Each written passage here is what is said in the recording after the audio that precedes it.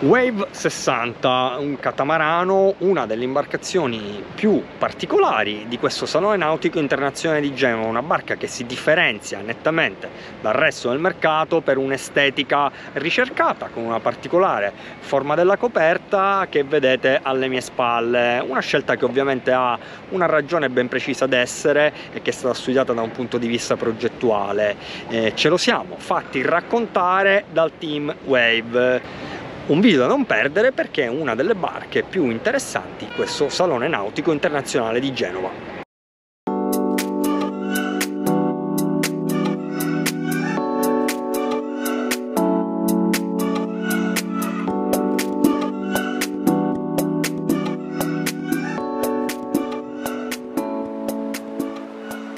Well, I think it's pretty obvious when you come to our boat that it's very different from any other boat of this kind. Basically, we are aiming to be as spacious as possible, very comfortable, but at the same time, we are trying to keep the performance very high.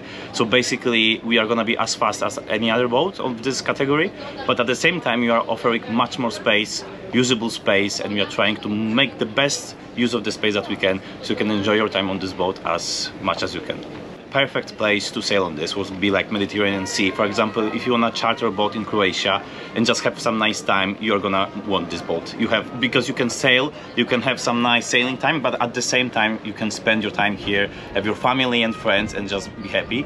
I would say obviously this is not a regatta boat. You're not gonna win the ocean race with this one, but not that's not the point. If you want to, you can also sail on the ocean. It's it certifies for the oceans too, so you can go whenever you want to. But basically, I would say any like other warmer countries like Mediterranean Sea and this kind of stuff, just to enjoy and sail with your family. so basically the, the roof that you can see in here, it's it's like multi-purpose, let's say. So, the first reason is general design, how it looks.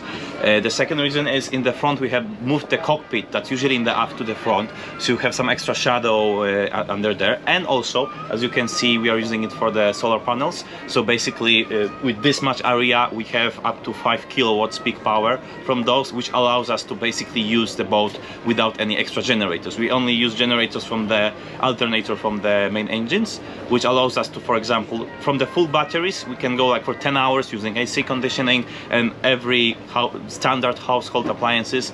So it's very comfortable, easy to use. And if you need to recharge, you can either use those, which obviously in this kind of weather are very useful, or just turn on the engine for two hours and you are done for the next uh, day.